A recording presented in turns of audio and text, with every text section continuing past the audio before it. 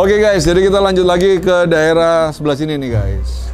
Mas, sama siapa mas? Mas Waluyo. Mas Waluyo dari Tegal. Mas bawa pusaka apa yang bagus-bagus mas?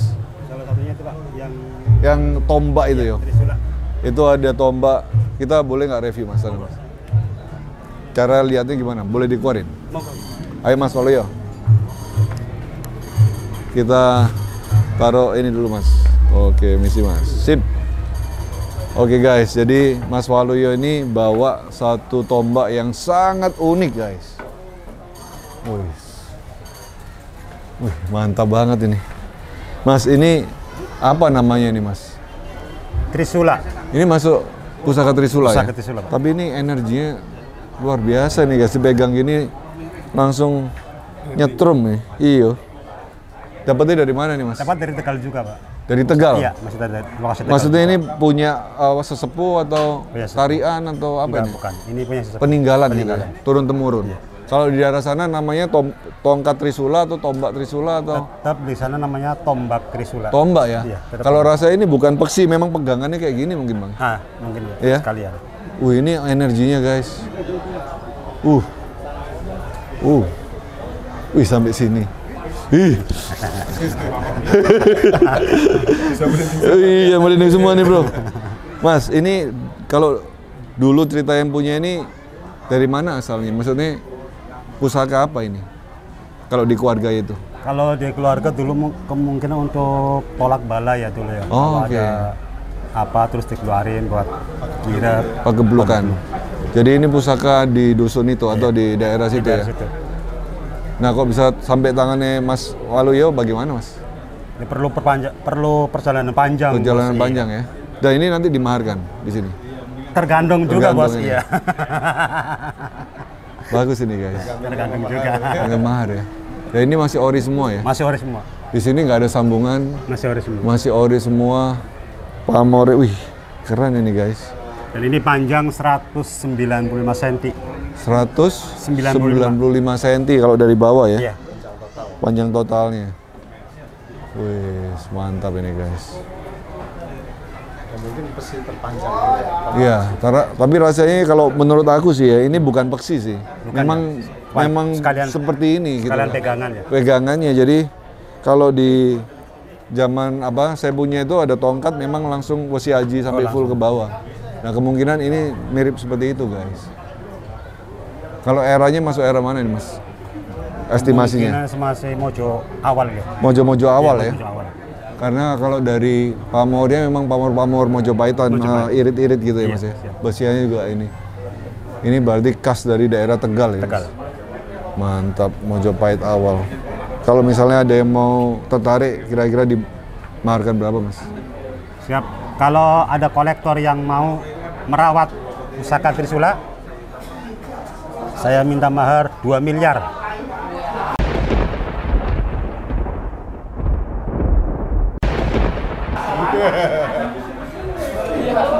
Langsung tambah nyetrum guys. Nah. tapi tapi wajar ya Mas. ya? Wajar. Karena Karena nyari ini lagi ya, susah. nyari lagi susah guys. 2 miliar. Dan ini sangat langka. Nanti kalau dapat 2 miliar mau dibuat apa uangnya Mas? Ya mungkin ada juga buat sosial. 10% buat etik Indonesia. Oh bisa siap, siap, siap, siap. enggak, enggak guys. Tapi ini ini ya salah satu kekayaan apa budaya Indonesia. Bagaimana Indonesia bukan hanya keris aja Mas ya. Indonesia itu punya tombak, punya pedang, punya badik, punya wah macam-macam dan ada yang unik-unik seperti ini. Dan mudah-mudahan ini masih terus lestari di Indonesia. Karena tombak-tombak unik seperti ini dibuatnya itu nggak sampai 10 jari istilahnya kan gitu ya. Sangat jarang sekali untuk didapat dan biasanya kalau tombak seperti ini hanya satu di satu daerah. daerah. Jadi memang pusaka kesepuan atau yang menjadi andalan dalam satu wilayah guys. Keren banget. 2 miliar guys. Ada yang mau minta nomor teleponnya mas? Siap. Berapa mas nomornya? 08522 787 5088. Wis, Mas Waluyo. Dan sekali lagi, kalau ada pemahar dari luar negeri, saya tidak akan memaharkan. Jangan. Ini khusus Iya. untuk untuk orang wilayah Indonesia. Nusantara. Karena ini kalau dibawa ke luar negeri hilang nanti lama-lama Iya. habis pusaka kita guys. Wih, mantap, mantap, mantap, mantap. Mantap guys, kita lanjut ke tempat yang lain. Makasih Mas Waluyo. Oke, sami-sami bos. Thank you untuk Siap. ini ya. Ini keren banget Mas. Suwun. 10 juta nggak boleh Mas. Oke, kita di bagian anak-anak Malang kita guys. Arema. Woi, aku duduk sini Mas. Aku mau merasakan jadi pedagang keris gimana Mas? Oh iya nanti. Aku di tengah aja ya. Oke, aku tengah aja. Oke guys, kita lagi di tempatnya Arema ini. Ada Mas Aldo, ada Mas, oh Mas kenalin Mas ke teman-teman Mas. Saya RMJP Gallery RMJP Gallery ada di Malang. ada di Malang. Jadi ini jauh-jauh ke Cirebon Mas. Iya, Bawa pusaka-pusaka andalan semua ini. ya bawa ada yang Singosari, Ada terutama Singosari, ya ya. karena kita orang Malang tuh harus bawa era-era Singosari Oh, sama iya. Mojopahit.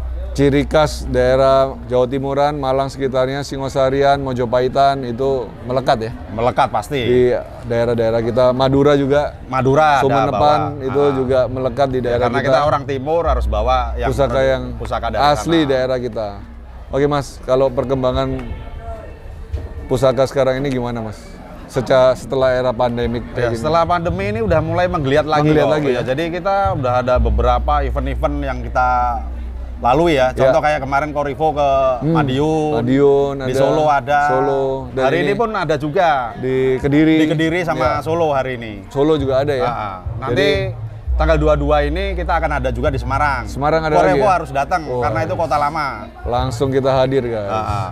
Ada Jakarta lagi nanti. Jakarta khusus Korevo akan tak kasih undangan khusus. Wih. Itu event internasional nanti. Mantap. Lebih guys. besar. Jadi kolektor-kolektor besar akan kumpul semua di Jakarta. Aduh, aduh, aduh, aduh, aduh. Tanggal 22 sampai Siap nggak 27 dompet murah? November. Dompet harus siap. Ini kita yang di sini aja guys. Ini udah berapa miliar, Mas? Kita review dong satu dua Mas. Boleh. Yang ciri khasnya mana Mas? Yang mau Malang, Cirebon, Yang Malang dong. Oh, Kan yang ini kan Malang. dari Malang ini. ini Wih, ini Kris Singosari akhir Mojopahit awal. Singosari akhir Mojopahit Oh awal. iya, Kris Jala. Jala Bisa juga Luk satu. lo satu Ya, ya, karena agak melengkung. ya? agak melengkung. Wah ini ori guys. Lihat nih. Pamornya Ciri udah khas. ciri khas. Ciri khas Singosari. Ini masuk pusaka temuan berarti ya? Iya betul. Pusaka Temuan darat. darat dan masih utuh banget. Hmm. Masih kulit luarnya masih kelihatan ya Mas ya? Masih kelihatan. Biasanya udah habis Biasanya udah banyak yang korosi. berkorosi dan ini masih utuh banget nih. Kita intip harganya Bang. Kalau saya bukanya itu 25. 25 juta bro, kayak gini bro. Tapi yo wajar ya. Ya wajar, karena usianya udah 700 Usianya tahun. 700 tahun lebih dan masih utuh, berarti ini kan pusaka ampuh nih. Betul. Termasuk pusaka dan warangkanya warangka Solo Warangka ya. Solo. Pendoknya perak lagi. Ya. Mantap ini guys. Ini ciri khas daerah-daerah Jawa Timuran tuh pusaka-pusaka gini guys. Bikin pusing kepala harganya. Aku terakhir kali ketemu Mas Aldo itu waktu di pameran di itu ya Mas ya. Grand City ya. Grand aku City. ada ada review pusaka Bimo Kurdo aku waktu ingat Mas itu. Tiga tahun yang lalu guys. Sekarang udah kaya dia guys. Amin, amin, amin. Oke guys, ini kita taruh pusaka mahal. Kita cari pusaka yang Singosarian mas. Ada nggak mas? Jawa Singosari. Timuran. Ini rasanya mas. Ini malah lebih tua. Wah ini lebih tua lagi nih guys. Jenggolo. Wih. Yang Singosari keluar. Oke, ini pusaka jenggolo guys. Dari mana mas bisa dibilang pusaka jenggolo? Ciri Dari khas ciri khasnya itu besinya sama garapnya. besinya ngelempung. Ngelempung. Besinya ngelempung guys. Terus garamnya agak apa ini? Ya agak Gemuk, gemuk. semi-semi primitif gitu loh. Oh iya iya iya. iya. Karena masih era-era dulu kan punya itu Iya, belum iya, iya. teknologinya belum begitu maju. Dan ternyata era jenggolo itu juga ada pamornya udah ada mas. udah ada. Udah ada pamor di sini Ah. guys. Pamornya ada udah nggak ini ya. Ini ada besi tambalnya. Iya ada tambal tambal. sini Ah. di sini. Ini besi tambal di sini. Dan ini tambalnya tambal ori nih, bukan Iya. susulan ya. Ini guys, kewibawaannya kuat sekali Chris ini. Auranya. Auranya ini aura kewibawaannya kuat, kuat sekali nih. Nah, ini pusaka yang khusus Singosari kita Mana? simpan. Mas Aldo, ayo Mas Aldo. Ini ada temuan, tapi jenisnya bukan keris, sih, Jenisnya bukan keris. tapi wedung, tapi wedung, wedung yang unik. Wedung yang unik asli Jawa Timur. Ya, temuan beratas. Temuan berantas guys. Kasih Mas Aldo. Ini, Mas.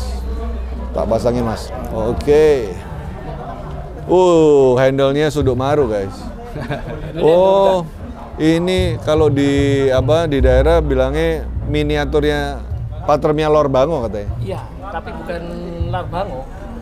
Oh. Karena ada surat keterangan dari BPPC Ah, Jawa Timur. ah. Ini namanya Wedung Tungkul. Wedung Tungkul ternyata. Jadi kalau di namaan daerah itu kadang-kadang beda sama yang di Beda. akademisi Iya. gitu kan.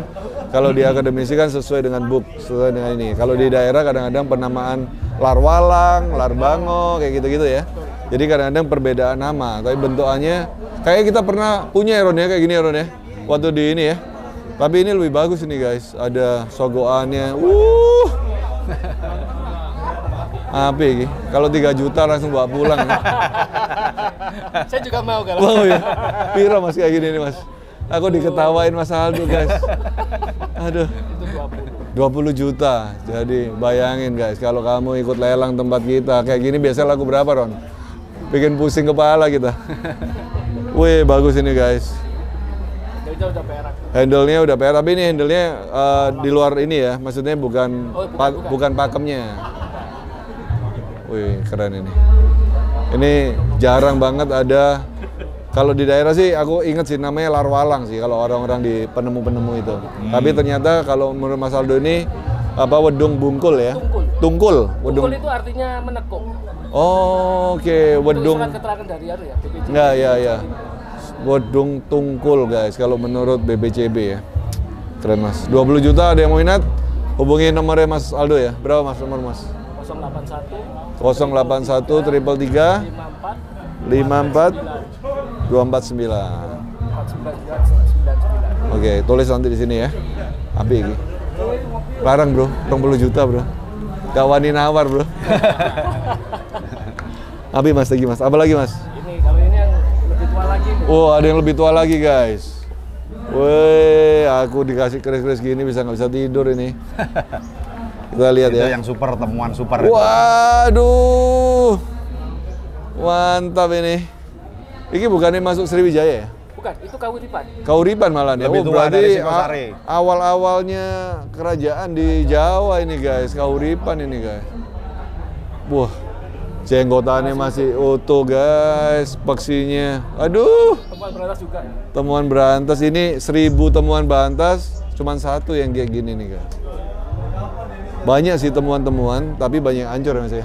Yang namanya pusaka temuan tuh nggak bisa ditebak. Kadang-kadang patinanya masih bagus, kelihatan utuh begitu dibersihkan Habis oh, ternyata. habis. Iya, jadi memang nggak bisa ditebak. Dan kalau kita dapat pusaka yang utuh gini, itu satu dibanding banyak guys. Keren. Treatmentnya pun harus secara khusus kalau kita ada temuan Iya, gitu harus nggak pelan-pelan lah. sembarangan. Nggak, iya. sembarangan. Ada yang dibakar, karena Wah, kalau dibakar habis itu. habis ya. Nggak boleh sembarangan guys. Wih, api mas. Piro lagi mas? 50 juta. Wuh. Ron, ada duit nggak kita? Sisa berapa Ron? Duit kita Ron?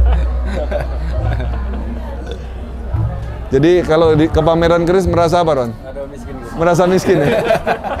Pokoknya kalau ke pameran keris itu guys, kamu akan merasa miskin karena kayak kita kurang duit terus untuk beli guys. Aduh keren banget nih. Top, top, top, top, top, top, top, top. Uh, ade ini ya Mas Yo. Ono wolongnya di sini ya. Iya. Atasnya ini ada wolongnya guys. Uh, mantap ini. Oke Mas, kasih pesan-pesan Mas ke penonton kita Mas. Para generasi muda milenial nih Mas. Eh, sekarang kan sudah banyak yang berusaha mencintai dan Ya. berusaha belajar untuk mengenal Pusaka. Pusaka. Ya. pusaka. Ya. Itu suatu hal yang baik Hmm. dan menggembirakan apalagi dengan adanya pameran-pameran yang, Ya. yang sering diselenggarakan oleh para teman-teman di berbagai kota. Berbagai daerah. Nah, itu bisa menjadi eh, rujukan untuk belajar untuk eh, mempelajari pusakaji itu berbagai macam apa saja Ya, ya, ya, ya. dari era mana saja. Hmm, Filosofinya belum lagi. Iya. Belum lagi arti-artinya. Dulu pesan-pesannya. Makanya kita ya untuk pameran begini selain untuk jual juga akan memberikan edukasi. Edukasi. Karena orang juga nggak tahu ini dapur apa, Ya. tangguh apa, pamor apa. Jadi Ya. nggak harus kita menunggu Datang harus beli gitu Oh, ya? Datang harus beli. Belajar dulu. Belajar dulu. Untuk masalah beli belakangan yang penting punya rasa cinta dulu terhadap budaya, budaya. kita. Ya, karena kalau udah mulai mu- mencintai, kita akan mulai belajar untuk merawat. Betul. Kalau sekali. udah merawat, habis duitnya. Iya. Ini ada kecil satu lagi. Ayo, ayo Mas. Monggo Mas. Ini Mataram. Wih, Patrem. Naga. guys.